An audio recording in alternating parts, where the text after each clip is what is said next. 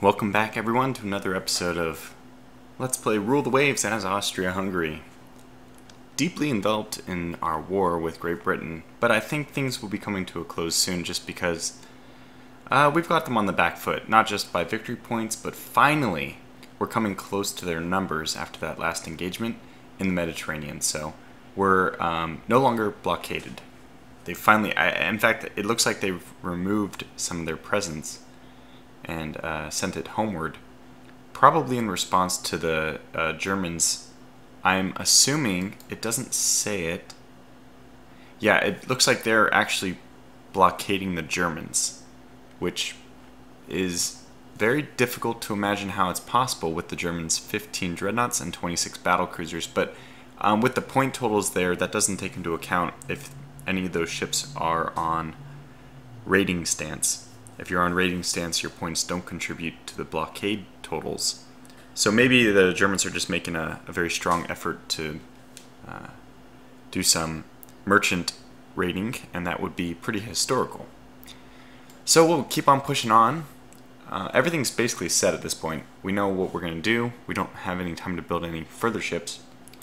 Almost certainly this last St. George 3 class is not going to be constructed, but only three and four months for the TMAC and Arpad.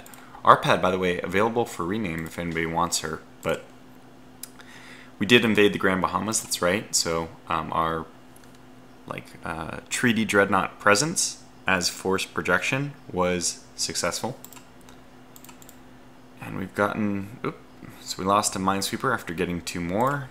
I missed the previous pop-up. Wow!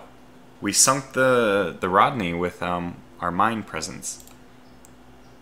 Three and a cruiser action, and very low victory points means probably legitimately a cruiser action. I'm assuming not a battle cruiser. Yeah. And you can see why the Rodney was brought down. We have mines all over, like all over the place, and of course, it would be stupid of us not to use those to our advantage. Note that we're passing one right now. And there's another one a little bit northeast. We'll probably take advantage of these if we can. Okay. I think that's good for that. Let's get our display up. Yeah, so what's the best move for us? Hmm. Let's bring these guys in from screen formation to line ahead. What do we have, by the way? These are all my older class, the Tiger 2s. And we're going to try to protect the northern, the northwestern flank for wind concerns. Knowing that, of course, if we need to... By the way, are these... So these are Navarra class. This is just a, completely outdated fleet that we're engaging with. We'll do our best anyway. Okay, they're headed that way. That's... It's just too far away to that other mine, and I don't think we'll be able to use this one. So we'll probably end up encouraging torpedo launching.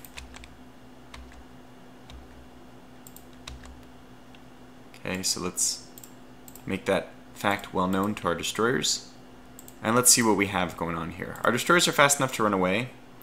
So we're going to kind of peel back with our light cruisers as a safety precaution. These are destroyers, Eden class. We can handle that. Obviously, our light cruisers should go in now, not our destroyers. and they are making a torpedo run, it looks like. So, actually, I think we'll keep our formation and we'll just use our guns. I know our guns aren't as effective. They're not 4-inch, and we only have two of them. However, if they're going to approach um, dead ahead, they're going to nullify the use of two of their guns because they have two fore and two aft. And we can just hopefully line up the shots. So we'll slow down. And just hopefully our light cruisers can engage. Already Taurus doing some good work. So these are just destroyers, not worth losing our ships over. They look like they're actually hunting our destroyers, which is, I mean, in the rock, paper, scissors scheme of things, my destroyers are worse than enemy destroyers. At pretty much every other um, ship designation, like cruiser, heavy cruiser, battle cruiser, I feel like our ships can go toe to toe with any equal class, but not our destroyers. Those are built for taking out dreadnoughts. So. So we are going to stay a little bit beyond. Uh, we are avoiding torpedoes as well. That's to be expected, I guess. Let's go back to almost squad max with these guys. If if we can just hold off on one evening class, I'm okay with that. And these destroyers should only be engaged in supporting my light cruisers.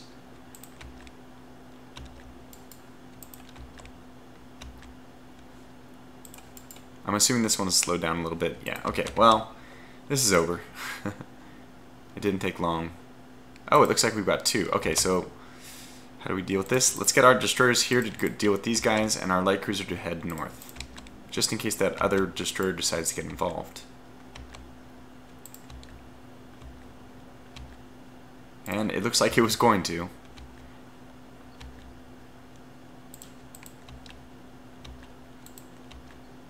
Yeah, now we're starting to land good hits on both ships, it, it appears.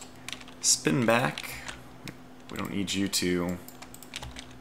This is obviously going down. This one has heavy damage, but we want to kind of try to keep pressure on her.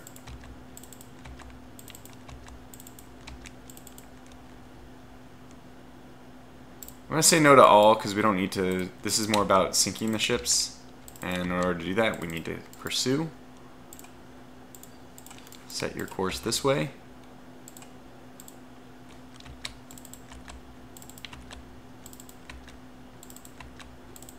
She might escape if we're not persistent.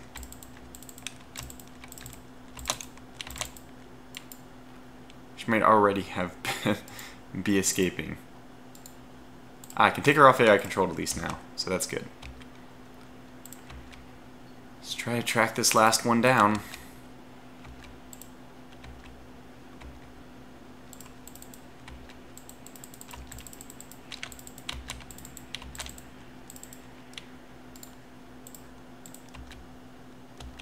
Yeah, it doesn't look like we're going to catch her. And extreme darkness is rolling in. Well, good enough. We know we got one. It's the best we could we could have done under the circumstances. Our group of four destroyers just didn't have, they're the Tiger II class, they just didn't have the firepower. We'll head back towards this destroyer and I don't know if it'll give us the option to pick up survivors again. No.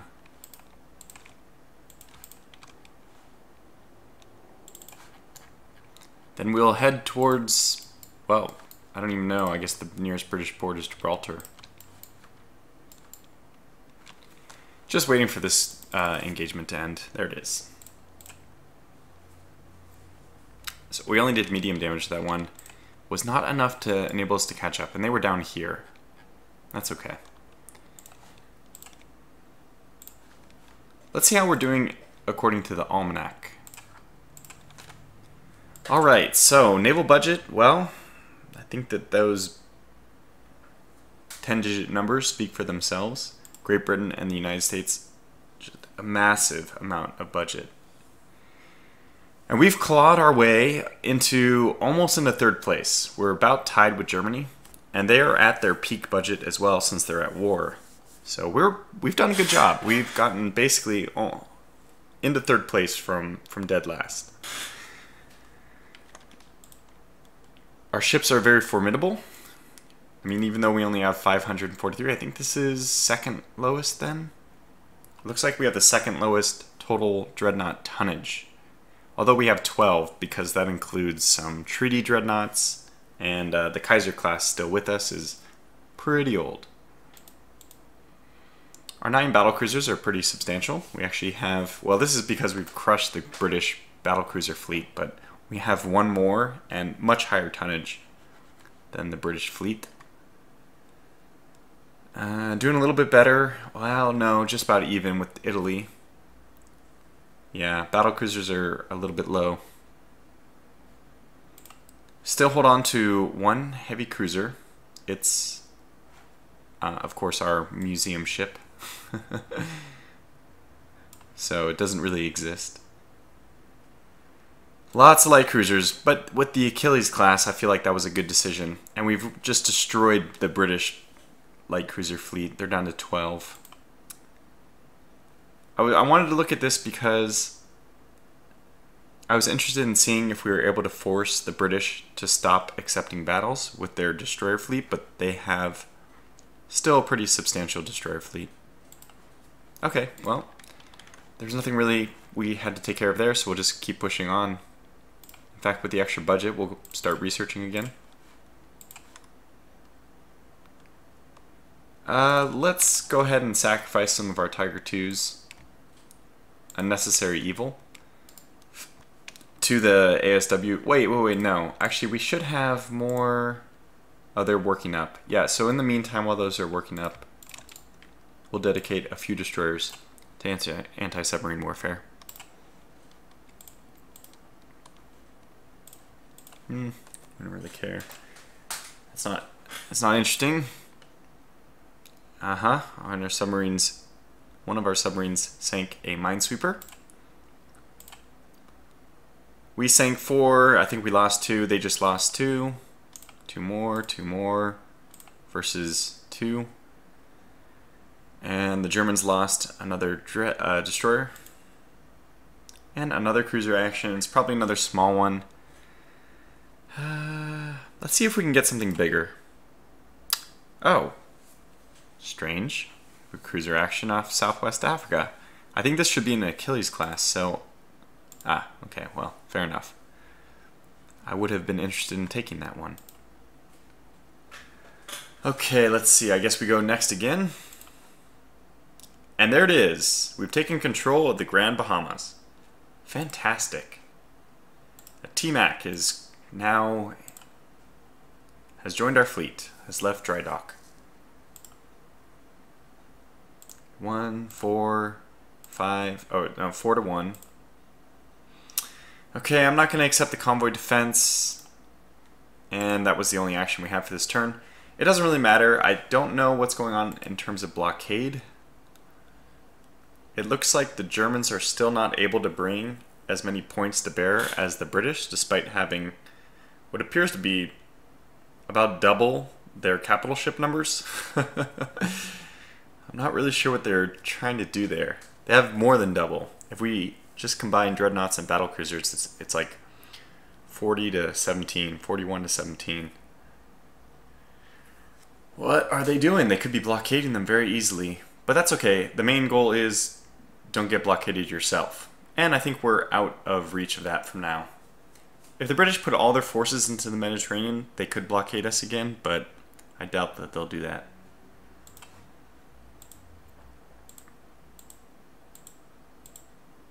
Three, two. Wow. Okay, this is very interesting. A huge engagement. The British lost a dreadnought, the Revenge, and the Germans lost the Graf Spee. Graf Spee. 105 victory points leads me to believe this convoy defense actually has some heavier ships involved. But if by heavier ships you mean destroyers, yes. Oh, that's a bummer.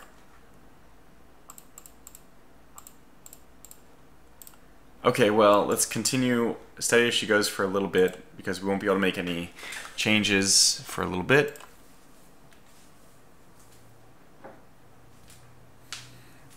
When we are able to get control back, then I'll tilt us in the right direction.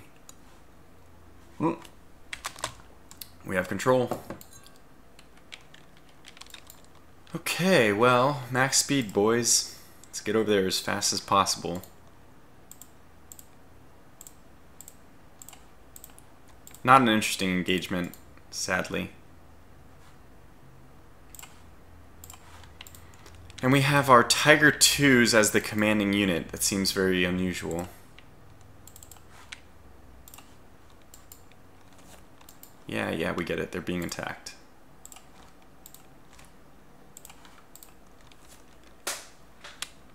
I'm so confused. Oh, the Spilato classes are all obsolete. yes, I did notice that, that they were built first in like 1922, and it's 1934. And nothing can be done.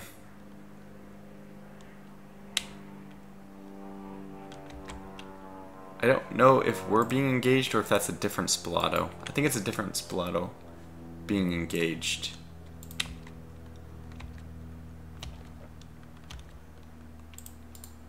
Well, um, we're going to want torpedoes launched as soon as we spot anything.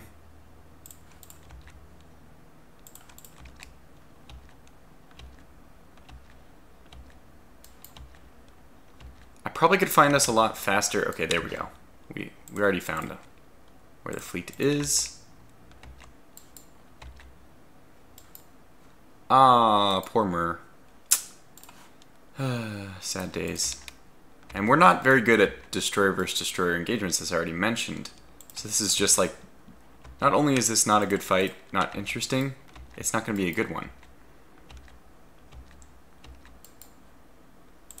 I'm very suspicious that the mirror is not going to be surviving.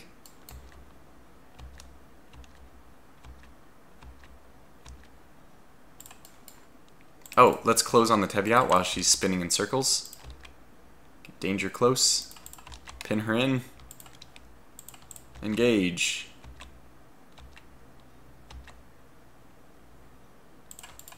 Looks like we weren't able to really disrupt her. And she probably sank one of our destroyers.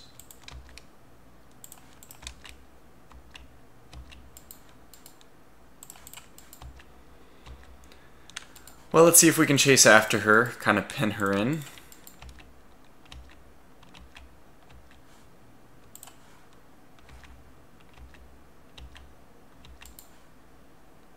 Yeah, I think we'll at least get one up. Rudder jammed. Same thing happened with us. Everyone else knows to continue on, that's good.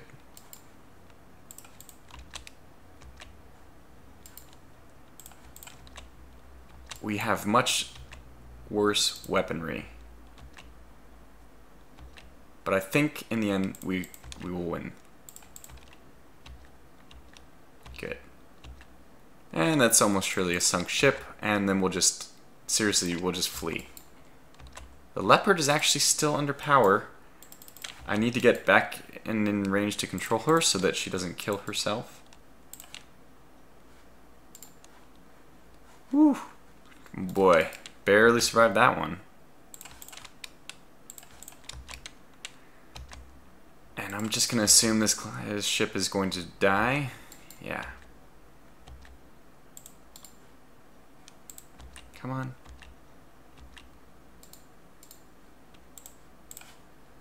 Slow down, buddy. Yes, go join these merchant ships. Everyone else can just... Okay, Sure. We'll go clean up the survivors. Uh, boring. I don't know why this one was 105 victory points to decline. That doesn't... Just, some things confuse me about this game. Not everything is perfect. So at this point we're just gonna swim with the merchant ships. Oh my gosh, this guy's still going? Maybe he's trying to sink the leopard. We can't have that, can we?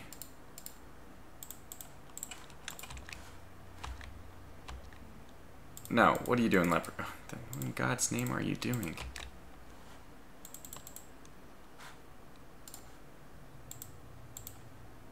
This doesn't make sense.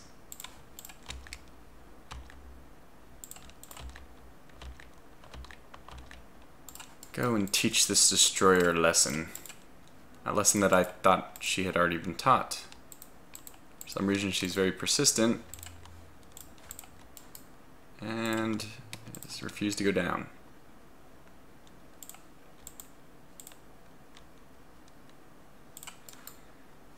Ah, whatever. You know what? I'm just so disinterested in this battle. I'm gonna let chaos reign.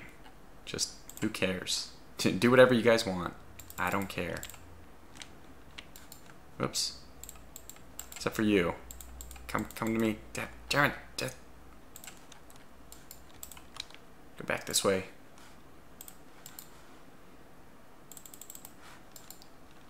Okay, we got the... No, that's the Mur. That's ours. they still could do some damage to our merchant ships.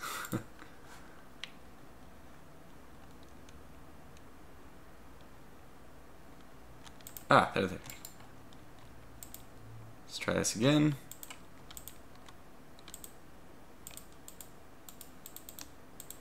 Yay. Okay, she's dead. Very dead. I don't even know what happened to our... Oh, there she is. Cruise. Very good. Just silly. Who cares? Like, look at the victory points from that. Wow, 100 victory points. That's really going to eat into my 70,000 victory point lead. Hmm. And here we go again. The Mediterranean's soon going to be firmly in control of the Austro-Hungarian Empire. Got some more submarines. Very good.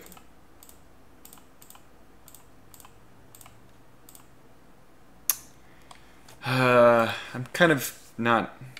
Oh, the Sabo. And an error. Is the Sabo okay? To... Yeah, I guess... I don't know what that meant, but we'll take her to off raiding, go to active fleet, and send the Martin onto raiding instead to clear that star. We just have that. Okay, good. That's that's good. Well, I don't know what to say.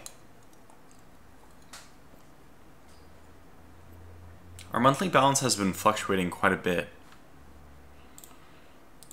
I guess we could go up on research and see if that changes anything, but it's it's like too late to try to commission new ships.